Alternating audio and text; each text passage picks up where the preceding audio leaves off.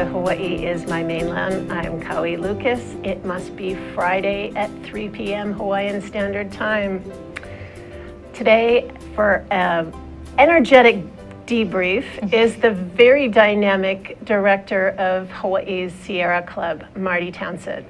And the Sierra Club of Hawaii worked really hard to um, raise awareness around a meeting that happened last night. It was great at um, Moanalua Middle School.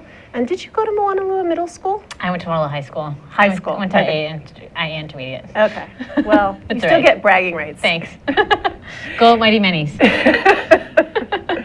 And it turns out that's actually a really great place to have a meeting. Who would have thought? Yeah. And this is the second one. What I, um, the first one that that was just a Sierra Club meeting about a month ago. Mm-hmm. So, so there's been a series of meetings. So, um, uh, there was a you know 27,000 gallon leak of fuel in January 2014. Um, since then, there have been a series of public meetings um, with the Navy, Environmental Protection Agency, and Department of Health, um, uh, as well as the Board of Water Supply and the Sierra Club. So. Um, Let's see, there were meetings in June of 2015 and then in October um, that were both hosted by the Navy um, with the EPA and Department of Health. Um, in June of 2016, uh, the Board of Water Supply hosted a meeting. And in August of 2015, 2016, um, the Sierra Club hosted a meeting. And all of these were geared towards um, trying to get more um, understanding about um, the agreement that was reached between the Navy, the EPA, and the Department of Health for addressing the jet fuel storage facility at Red Hill. Um, this facility is ginormous. Um, it's holding, uh, there 15 tanks out of 20 are in operation, um, each holding 12.5 million gallons of fuel, um, 100 feet above our drinking water aquifer. And while currently our drinking water is not contaminated. The concern is is that the history of leaks uh, at this facility um, are just a warning sign, a signal that um, we could seriously jeopardize the quality of our water if anything significant and serious happened. Um, so last night we had a meeting uh, that was supposed to be the one-year anniversary um, check-in of um, with the Navy, EPA, and Department of Health, and. Uh, yeah, it was a very good turnout. Um, I think people were probably not fully satisfied with the answers to their questions, um, but I, you know, we as a whole are heartened to see that people are engaged and concerned about this issue. I mean, that is a prerequisite to ensuring that our water is protected. Um, we are grateful to have um, someone like um, Ernest Lau at the Board of Water Supply to Oh. provide He was wonderful. to provide information and context and perspective and expertise in this area. Um, we were grateful to the Environmental Protection Agency and the Department of Health. Uh, they actually rejected um, the Navy's current proposal for their, their work plan for Red Hill um, because it's just basically inadequate. And um, I think that has helped to build some public confidence that we're going to ultimately end up with a plan that protects Red Hill, hopefully, um, or protects our water supply. Um, but the concern is, is that it's just taking way too long. I mean, here we are, where the spill, the last spill happened in 2014. Here we are on October 2016, and we're still talking about scoping at this point. Like, we have had very little action, if any. They've installed a few new monitoring wells, which is great, but there's been no cleanup. They haven't made any effort to identify where the fuel is that spilled, um, and they don't have any plans for figuring out how to clean it up, and that's just not acceptable. There was, um, it used to be a, um, a EPA Superfund up there that they supposedly handled uh, back in the 80s, I guess. Uh, but um, I, I want to, I loved the um, analogy that uh, Ernie did on, you know, how much fuel this really is. yeah. He talked about Aloha Stadium. Yeah. If you go goal line to goal line, sideline to sideline, Yeah. that 1 million gallons is three feet deep. And that, so that whole facility would be that football field more than 500 feet tall, which is more than the First Hawaiian Bank building downtown. Yeah. So worth that of to fuel me, sitting, worth of sitting fuel. above the groundwater. right. I thought that was fabulous because it's just, it's so huge. It's kind of hard to take in. Mm-hmm. You know, like, what is this? Yeah, yeah, and and the concern really is is that uh, we don't see the urgency needed to ensure that we aren't on the cusp of a major catastrophe. These tanks are 70 years old. I mean, I mean, like put that into context. These these tanks were installed in 1940s.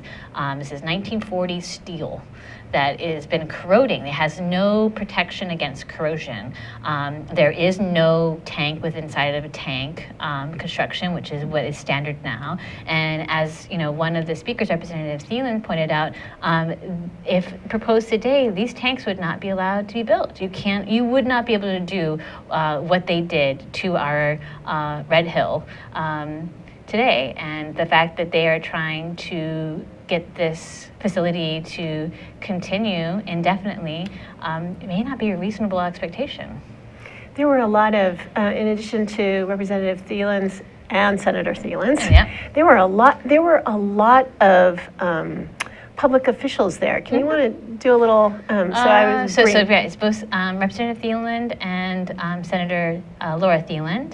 Um, there was also council members, Councilmember Fukunaga, Councilmember uh, Brandon Elefante. Uh, you had um, senators, like Senator Wakai was there, um, uh, Senator Nishihara, um, Senator Breene Harimoto. Harimoto, Yeah. And you had representatives there, uh, Representative Ichiyama, uh, Representative um, Aaron Johanson. Uh, so the area elected officials, as well as elected officials not from the area, I mean, Gil Riviere was there too.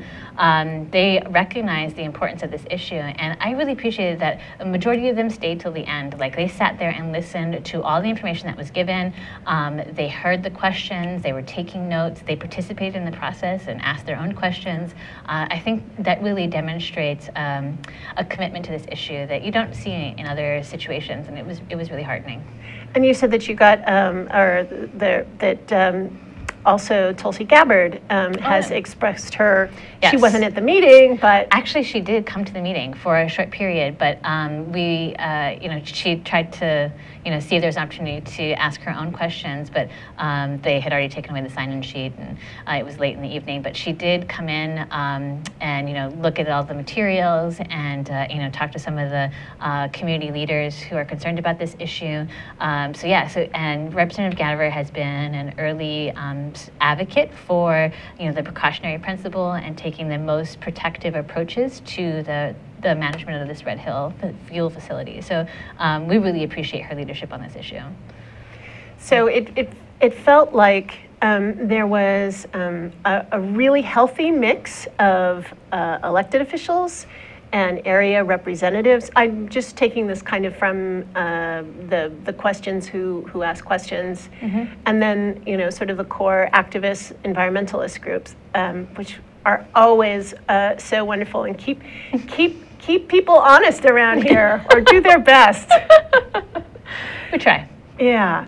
So um, the the issues around um, the the things that don't work that was section six and seven that they got into they got into that a, a little bit, um, but it was interesting to me that they they took uh, they being the U.S. Navy took um, a lot of time to explain what went wrong for that one incident in two, 2014 that you talked about, the tank number five, the infamous tank number five, Yeah, which would- had just been fixed and then leaked. And And, they totally blame it on the contractor. The, the, the contractor did poor welding, and you know the, the only responsibility the Navy um, seems willing to accept is that they didn't uh, look over that contractor's shoulder enough. Um, but you know the, they're.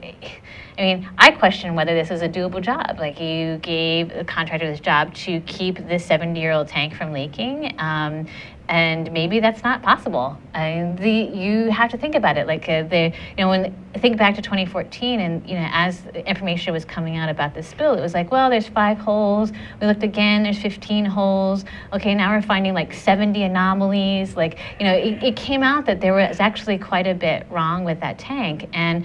Um, there are, you know, five other tanks, maybe more, that haven't been recently inspected. And I mean, that's the problem is that these small chronic leaks um, uh, are hard to detect, and uh, we don't, you know, the the thing. And once you detect them, that means they're already in the environment, so it's too late. Like what we really want is a leak-proof system, and that's like the basic minimum expectation. So you asked uh, about the the double lining the tanks, and mm, you you didn't get too too too much of a straight answer on that one. Yeah. So. Um, if you were to um, install an underground storage tank for fuel today, um, the requirement is um, what's called tank in a tank construction, double walling. And the intent behind that is to prevent the uh, fuel being stored uh, from getting out into the environment, um, which you know Naturally. serves both interests, right? And uh, but these tanks built in the 1940s, um, built in the field, like field constructed. So I mean, just so people understand what that means, it means they dug a gigantic hole. God knows what they pulled it. Yeah, blasted. blasted which Uh. means that the rock under the basalt underneath it has has fractured. Right. Then they poured concrete in, and then they welded little squares of steel all the way around the inside of it. And uh, surprise, surprise, 70 years later, the steel is starting to give corrosion um, over time. Um, it's irreversible. You can't, and you can't stop it. And uh, and that's the situation that that we're confronting. And so. Um, yeah, I think uh, it's just uh, we want to make sure that um, double wall construction is, is is fully analyzed. At this point, at this stage in the process, they have not fully analyzed the option of uh, double wall construction, um, and they haven't analyzed the option of relocating the fuel storage facility to some other place. And they need to look at both of those alternatives um, to be able to really make an informed decision. The other interesting thing that we learned from last night's meeting was that, according to the Navy, money is no object. It doesn't matter how much it costs, they are going to make it happen. And I think we should hold them to that. I don't want to hear that uh, this is too expensive, is the reason why they aren't going to ensure that these tanks don't leak. Where the one place I did hear the money come into play was when, um, uh, and we'll do a vid- video of it later, they were asked about, oh, um, Gary Gill said, well, what if you don't use all the tanks? You know, and then they gave that, well, we'll show that clip later. But they said that they're um, about, uh, uh, they're about to spend $35 million on refurbishing the five tank, the five tanks that haven't been refurbished in a while. I think they're But focusing- yeah, yeah, yeah, They yeah. didn't mention that some of them hadn't ever, hadn't ever been in 73 years. Yeah. So, anyway, um, you know, let's just take a little break right now, and Okay. then we'll come back and watch that video and, and talk some more. Okay, that's good. Hi, I'm Stacy Hayashi, and you can catch me on Mondays at 11 on Think Tech Hawaii. Stacy to the rescue. See you then. Aloha, everybody. My name is Mark Shklov. I'd like you to join me for my program, Law Across the Sea, on thinktechhawaii.com. Aloha. Aloha, I'm Kirsten Baumgart Turner, host of Sustainable Hawaii. Thanks for watching Think Tech this summer. We have a lot of terrific shows of great importance, and I hope you'll watch my show too every Tuesday at noon as we address sustainability issues for Hawaii. They're really pertinent as the World Conservation Congress approaches in September and the World Youth Congress that's focusing on sustainability next year as well. Have a great summer and tune in at noon every Tuesday. Welcome back to Hawaii is my mainland. I'm Kaui Lucas, and with me today is Marti Townsend of Hawaii Sierra Club. And last night we were at the uh, Moanalua Middle School where there was a meeting on the Red Hill fuel tanks. And to give you a, a, a taste of what that meeting was like, we have a, a clip from the uh, question and answer session that happened after the presentation. I think people are here concerned about the risk. Even if we hear that the water is safe today, what about tomorrow? What about catastrophic? The only way to reduce that risk to zero is to do away with red Hill. Well, so if you have a question, let's ask the question. Um, I have two minutes to get to my question. There are, there are, there are questions here, okay? Short of reducing that risk to zero, the, the, the game here really is how do you reduce it to as much as is feasible or practicable. We could cut the risk in half if we were to reduce the number of tanks currently holding fuel in half. Currently, there are 20 tanks. I, correct me if I'm wrong. I believe there are 15 that are filled. Going by your own analysis, what I heard that five of those 15 have actually been upgraded. That means 10 tanks are filled now that have not been upgraded. So that's a big risk. Question, to reduce the risk, can the Navy reduce the number of tanks that are currently filled with gas?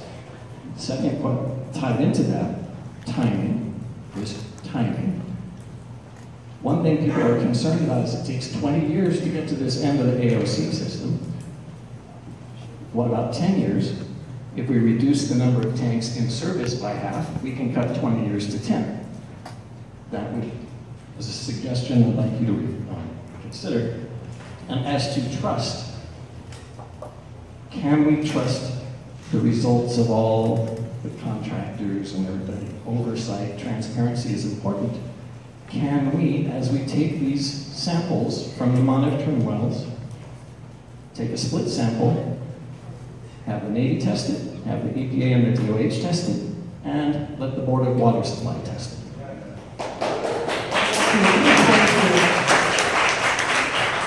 Okay, so we've got a triple header there, so I'm going to take at least one and a half of these and I'll give Rich Hayes the other one.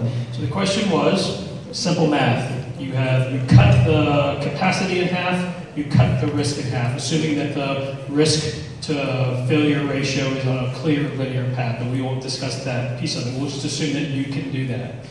Uh, and it makes sense logically, uh, but the question is, and I talked about this earlier, there is a reason why Red Hill is here, and why we have the amount of stuff in there. It is not an arbitrary amount of petroleum. Now, I can't talk to specifics because that is classified, but what I can say is we do not arbitrarily have fuel in the mountain, and I will tell you this, we are certainly not hoarding fuel in the mountain just to have it there. So, yes, we could cut the risk in half if we cut half of the capacity out mathematically, but the, but the question is, but the, but the concern is, we have to determine from a bigger perspective what we need to have here for Red Hill to exist. Because at some point, the reason for existing and the risk mitigation will counteract each other. So that's why I talked about this earlier. Part of the process here, and this is above, I mean, this is above us here from the Navy perspective, is the wide Red Hill and how much it takes to do that. Okay, so I don't want to confuse anyone here on this. So that there is a reason for it, and we have the amount of fuel in the mountain based on the reasons that I laid out. So if we were just to arbitrarily cut that in half, the question would be, would Red Hill still serve the purpose that it's intended to do because it's here? So I wanted to add a little bit to that and um, give a little of my perspective. We're studying the risk posed by Red Hill. I'm not sure if reducing the number of tanks in half would reduce risk in half. I think the answer is probably not. So as you can see, it was it was a lively bunch and, a, and an animated discourse. So at some point, there is a, a, a point of diminishing returns for the Navy, um, but we didn't. They were very cagey about what that point was. Um, mm. Well, I'll tell you, the point of diminishing return for me as a water drinker is uh, when they leak, when the tanks leak again. Um, what we've learned from the Navy's publishing of reports, historic leak um, information, that since the tanks were built, there have been 40 leaks.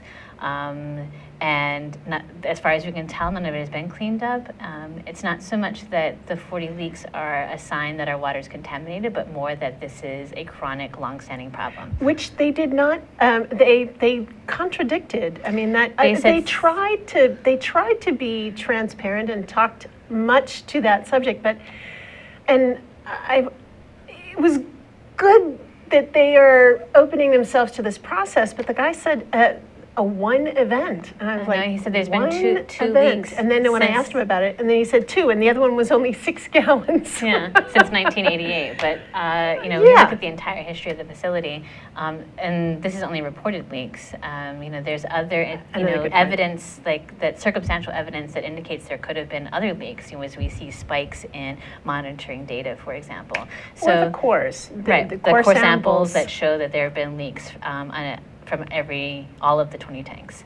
So um, I think it's just it's bad public policy to store your fuel uh, 100 feet above your drinking water, and it's in the na- as much as the Navy's interest to ensure that they don't lose fuel, um, as it is in you know humanity's interest to ensure that we don't lose water. And if the Navy really you know considers this place to be strategic and plans to use it into you know indefinitely into the future because of the Pacific pivot, um, then they need to invest in it and make it top-notch you know 21st century technology. And if they can't afford that, then they need to retire these tanks and store the fuel elsewhere. I, I, I just, just common sense is you, do, you don't do this. And, don't do and this. I, I think it's very gracious of you to give them a, uh, and, and out on this. But I, I actually, I, I think it's unconscionable and that there's, there's, no, there's no reason for Yeah. this.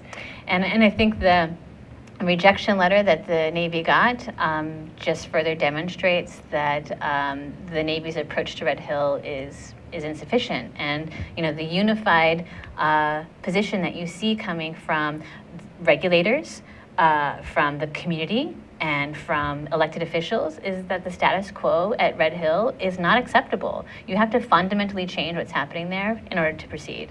And the first thing first on my list is to clean up the spill that's already out there. Um, and then from there, they really need to get very good at understanding the uh, soil uh, around the tanks. They also need to be able to understand the flow of water. Um, we don't know exactly where the water goes uh, underground, and there's no way you can model. Uh, you know the What you likely don't know. yeah, you can't model what you don't know. The likelihood of contamination is unknown, and, and the EPA's rejection letter basically said that the uh, the Navy's relying on assumptions and speculation to, you know, assess the risk of the jet f- fuel being stored here, and uh, we need far more definite than assumptions and speculation. They were um, pretty good at playing um, to the audience in in in. in In some regards, um, I thought there was amusing. Somebody asked, you know, how many days of fuel would it um, would that fuel storage facility provide Oahu in the case of a disaster? And I thought, oh, that's such a sweet question, as if they would. Yeah, but it's jet fuel. It's not like we're driving our cars with it. Yeah. It's not going to serve the residents of Oahu. But they didn't mention that. No, they did not mention that. Yeah, they, they, they totally went, wow, you and I could sit down for an hour and we could figure that out, theoretically. Yeah. I thought, ooh. Yeah. Okay. Um, I did hear one positive thing in a private conversation. Oh. Um, s- a man from the Defense Logistics Agency Mm-hmm. said, I said, I, specifically asked about the alternatives. They had in the they in this information corral. So when you walked into the cafeteria, there was a large open space, and around the space were these um, uh, Poster posters, boards, yeah. poster boards, and um, it was a very interesting way of organizing a meeting. Um, uh, and one of the poster boards was on alternative sites. And so I asked him, so, so what, and that poster board had all these things like it had to be off the grid, um, gravity fed, and all of this stuff. And I said, well, well, who made that list? And he said, well, those are just things that the present facility has that we like, sort of Okay. the, the, the, the capacity, the fact that the, they don't have to use energy to access the fuel because it's gravity fed, it can just come down. I said, yeah, but you got to pump it up there. that takes energy. Detail. uh, detail. Anyway, um, but I did like the idea that they were talking off the grid for a fuel. Anyway, so there were all these um, these amusing um, anecdotes. But what he said that was very interesting was that that um, Board of Water Supply, EPA, uh, Department of Health, other stakeholders are the ones who are invited to make the list of their wish list on alternative sites. And that is one of the steps. That's step number eight. So we have six and seven have been rejected. Um, but that, that is in uh, step number eight. And I said, well, do we have to wait till six and seven have been hashed out? And he said, no, that they're, all, they're going forward on all of them. So that is a really good thing. I thought, okay, so and- let's, let's be thinking. Let's make our wish list. And, and one of the things the EPA made a point of saying last night is that they are open to our comments 24 7, and I quote. And so I encourage everyone to email uh, the EPA directly with their wish list for uh, this facility. Uh, their email address is redhill, R E D H I L L, at E epa.gov, epa.gov. And uh, yeah, I think we just need to take them up on the invitation and let them know uh, what our minimum expectations are. For me and for the Sierra Club, it's that these tanks will never leak again um, and that all of that fuel that's been released is cleaned up. If you can't meet those minimum requirements, then we're not even going to be talking about continuing uh, to store fuel there. Um, I mean, this we their strategic um, necessity and advantage um, cannot trump the safety of our water. And Bottom the- line. and that's That is the line. bottom line. Yeah. And it really would make a, a wonderful World War II memorial and historic site. That was my my little contribution last night. Uh, didn't come off quite the way I wanted to, but the, the, the point is that it, it really could be a win for them, the site. And um, it is, and it's one of the nine engineering marvels of the world. And um, there's all Yeah. kinds of, of wonderful things about it, except it shouldn't be holding. I think you know uh, there is a point at which you get diminishing returns on relying on technology, and as amazing of an engineering feat as the Red Hill tanks might be, we saw last night at the meeting what happens when you over rely on technology that isn't fully tested. I mean, the Navy itself had spent all of this time and effort on some kind of propaganda video and really wanted the group to see it, and we wasted a good 10 minutes uh, trying to get them to show it. And uh, the technology between the Wi-Fi connection and the DVD, it just didn't come off at all, and they had to apologize profusely. And you know, in this situation, it's okay to apologize for wasting our time, but you know, it's not okay to apologize for contaminating our water. It's a brilliant example, Marti, because they had, I'm not sure how many people um, on their team in the room, and the guy said, okay, so who has the disc? Anybody? Anybody? oh, thank you so much, Marti. this story will be uh, continuing. Yes, And- yes. So um, we're hoping that the uh, the EPA will transition to quarterly meetings on this issue. Um, I think what we learned last night also is that an annual check-in is definitely not enough. Um, people have a lot to say and they have a lot of questions, and we need to have more engagement. All right, keep on it, Marti. Thank you. Aloha.